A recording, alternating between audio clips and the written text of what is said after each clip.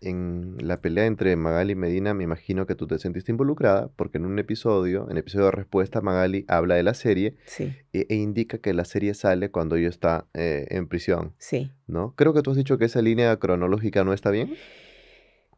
Lo que pasa es que, ah, como ella lo pone, digamos, lo dice así, efectivamente, el, la serie empieza, no sé si cuando ella ya está en prisión o está por entrar, pero es como por esos días. Ujú.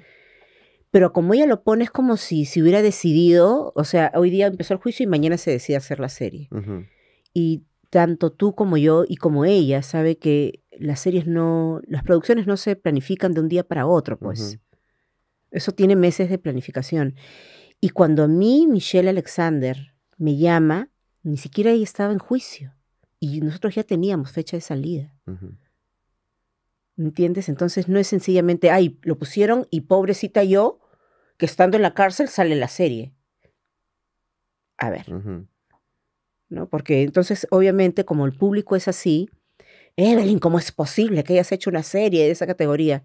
Igual entendería que la persona que está arriba de la producción, así como las producciones tienen un tiempo, también se podría retrasar eventualmente. Totalmente. Muchas series se guardan porque es un mal momento. Correcto, Sí. pero en, en todo caso, la responsabilidad no es No mía.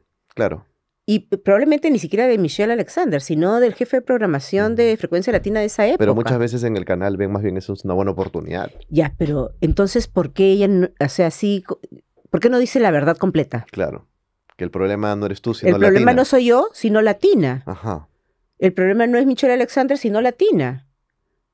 O sea, Latina fue quien, quien puso y que, y que decidió y Estamos en una reafirmó. cruzada desde estos medios, desde este medio también, de buscar este Magnolia Merino completo.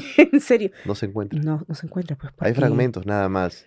eh, y lo más O gracioso, sea, quiero encontrar ahí, tú sabes que yo la quiero- tenía. quiero que- encontrar una justificación para la serie Yo creo- en el contenido. Ya, yo la tenía y me pidieron, creo que Creo fue, que los tenías en DVDs así. lo tenía en, en- lo tenía en, sí, en, en- sí, en DVD. Yo casi todas las cosas que hago las, Guardas. las guardo. Wow. Y esto lo tenía y no sé qué actor me pidió la serie para sacar sus escenas y nunca más me la devolvió. Tienes que acusarlo. Tienes que darme un nombre. Eh, es que no estoy segura si fue, creo que fue Gerardo Zamora. Gerardo No Zamora. estoy segura, no estoy segura si fue él u otra persona. No Gerardo. Zamora. No relaste, qué buena raza.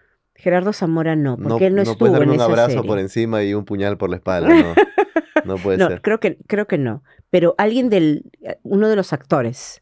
No sé si fue Lucho Oscar Cáceres no la tiene tampoco. No, pues, porque Alguna vez Lucho Cáceres que conversamos con él dijo que esa serie le pareció como que